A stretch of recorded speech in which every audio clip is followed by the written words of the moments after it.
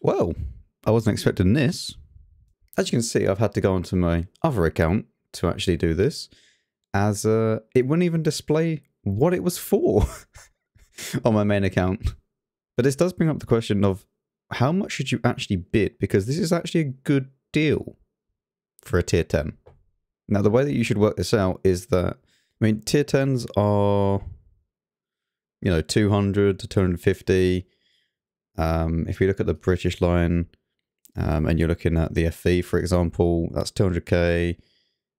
You're looking at about 500k per, per like, you know, line. 500 to 550. So if you get it for less than 500k, I think that's a pretty good deal. Anywhere between 500 to 550. And considering that there's 20,000 of these, sure, the competitive bid is going up, but not by that much. A lot of people won't have free XP anymore because of the lion event. That's not to say that nobody has any free XP anymore, but I'm just saying a lot of them won't. And a lot of them will already have the FV215B because it's been on sale before and this is a hell of a lot better than 20 million or 25 million credits.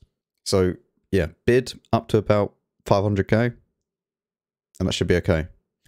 I would just keep an eye on this, this competitive bid and then bid slightly below it um, up to about 550k.